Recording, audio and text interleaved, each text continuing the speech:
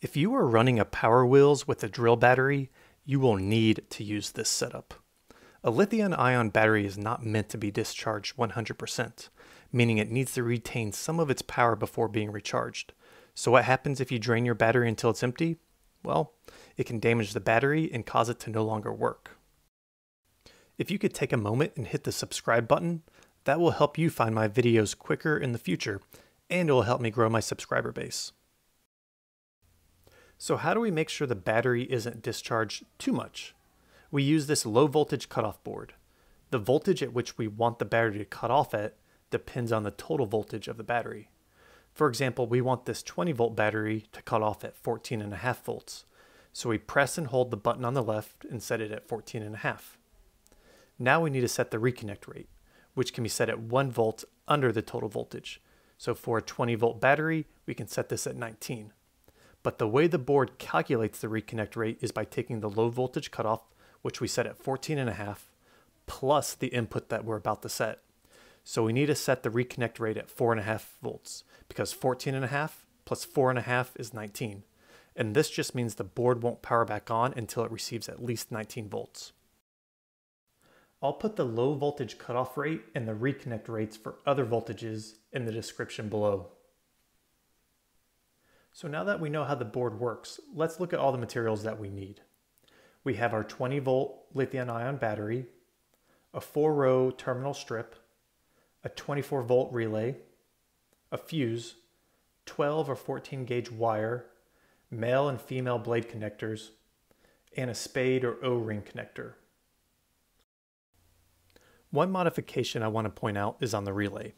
It has two normal size blade connections that fit our female connection pieces, but there are three larger blades that are too big for our connectors. So I drilled a larger hole in the relay so that I could use a screw and metal backing from the terminal block to hold the screw into the relay. Side note, you will not need to use the middle blade labeled 87A. Let's connect everything and see how it works.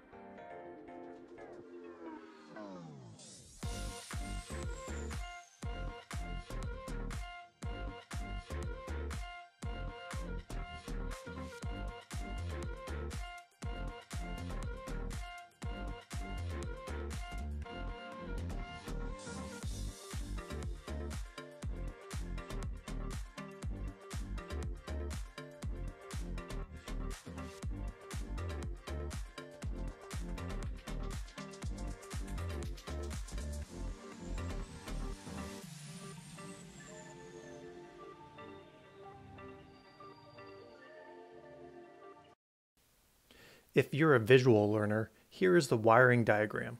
I hope you enjoyed this video and found it helpful as it will save your lithium ion batteries from discharging too much.